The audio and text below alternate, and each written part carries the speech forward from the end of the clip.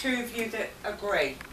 Who wants to start off with why they agree or disagree with this statement?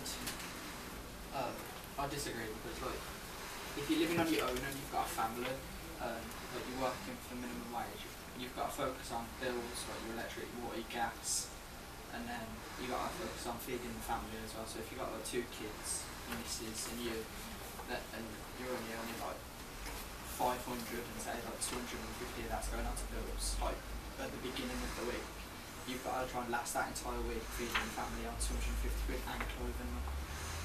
So it's like it, sh- it will stress you out because you've got to try and focus on what you need and then what you can actually buy with the rest of your money. Anyone else? I agree. You agree you would work for a minimum wage, I'd yeah? work for anything because it's a job at the end of the day. You're go- gaining that experience plus, yeah. I had a job, I worked on three pounds something an hour and I ain't no tramp. I mean, I don't look like a tramp. I get my nails done, get my hair done. I can live on that. I can feed myself, I can clothe myself. I lived on it. I Paid agree as rent and everything. You agree you would work Yeah, for because I've, I've also worked for minimum wage, and as she said, it gives you work experience. It, it gives you work experience, so it shows that you can like shows you're willing to work for that, and you can. Jobs are more reluctant to take you on when you got work experience as well.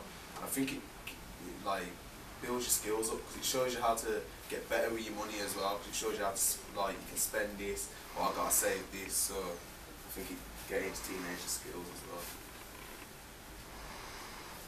Anyone else who disagreed want to say why? If it was more, I would. If the minimum wage was a higher rate, you would work for minimum because wage. younger people these days like, need money so that they can go out and enjoy themselves while they're younger. And also, it's just like everyone else at the same time, it gives experience as well. So you would want to work, but you feel the minimum wage is too low. Disagree because at the end of the day, you're seven, imagine you're 17, Mm-hmm. you're trying to find a house on your own, you you've been kicked out of yours, and you're on, what, £3.79 an hour. So how the hell are you meant to You can get help, you know, you can